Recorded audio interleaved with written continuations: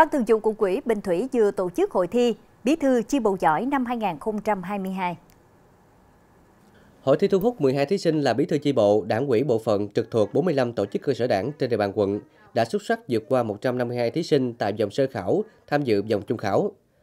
Các thí sinh phải trải qua hai phần thi gồm thuyết trình và thi vấn đáp với nội dung xoay quanh nghiệp vụ, kỹ năng công tác xây dựng đảng và bộ tài liệu tham khảo do ban tổ chức hội thi biên soạn. Một số văn bản gợi ý tham khảo. Kết thúc hội thi, ban tổ chức đã trao một giải nhất, một giải nhì, hai giải ba và các giải khuyến khích.